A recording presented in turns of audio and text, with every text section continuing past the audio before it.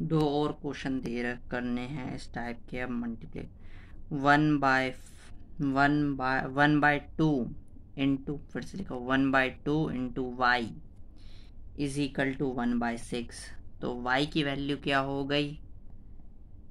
To by six divide में था multiply में। तो कितना आ जाएगा? वन बाय थ्री ओके चलो, इसके बाद दूसरा क्वेश्चन। दूसरा क्वेश्चन आपका कह रहा है कि one by two T is equal to eight one by two. तो हम अगर सिंप्लीफाई करने चलते हैं तो t इज़ इक्वल टू, ऊपर टू जाएगा चाहेगा तो टू तो मल्टीप्लीकेशन में लिख दो।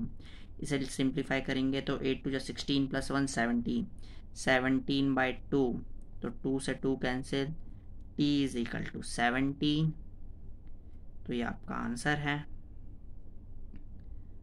तो कोई डाउट हो तो कमेंट करके पूछिए। So bye bye and have a nice day